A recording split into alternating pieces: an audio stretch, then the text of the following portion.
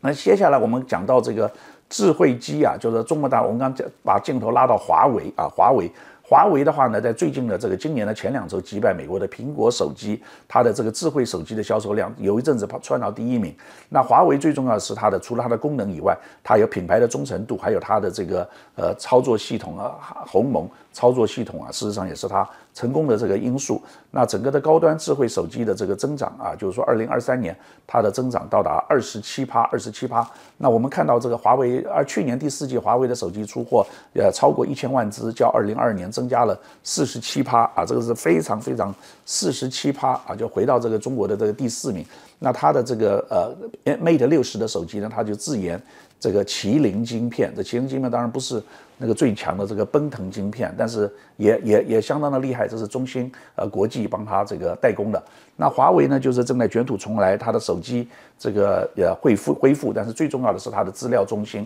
啊，还有它的云端啊，这个是还有它切入电动车，这几个都是关键字。也难怪黄仁勋把华为当做强烈的竞争对手。